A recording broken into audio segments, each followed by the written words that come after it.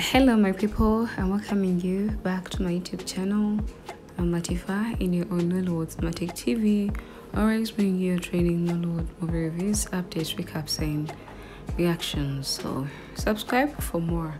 And I'm back with uh, Seri, the new girl, season two, episode eight updates and the recaps. According to what we saw in our last uh, episode these guys decided to go on a picnic. And there is something that happened on the picnic whereby uh, jaden and amanda fell down while they were dancing and that was tk's arrival.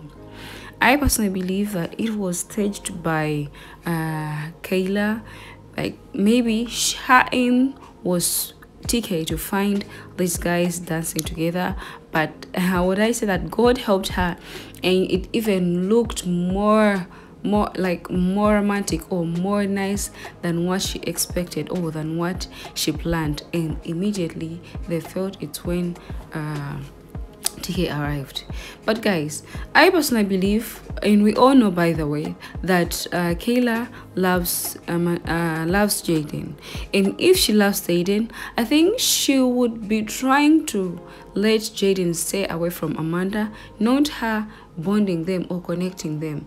But what she did it was like she was kind of connecting them. Though she was trying to like to ruin her relationship with tk which was wrong because if she wants amanda to stay away from jaden which she's doing but jaden is still on her neck i think she would let her relationship with tk stay as strong as it has ever been before.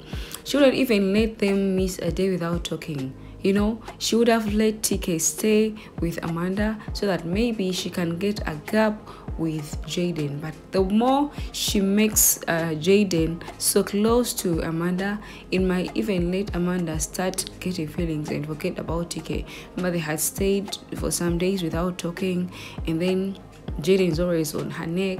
He even tried to gift her an iPhone. So it means the more she lets these guys connect or spend some time together, she's going to forget about TK and she might end up falling for Jaden. So I don't know what's going to happen in our next season or sorry in our next episode whether TK will forgive Amanda of the incident that happened on the picnic or he won't uh, forgive her I don't know what he's going to think because I personally think he's he's going to think that this girl moved on and he uh, and he was replaced by Jaden. Anyways, let's keep waiting for another episode that is going to be dropping today in the evening. Keep subscribing to our Kids YouTube channel so that you don't miss out the season. Bye bye.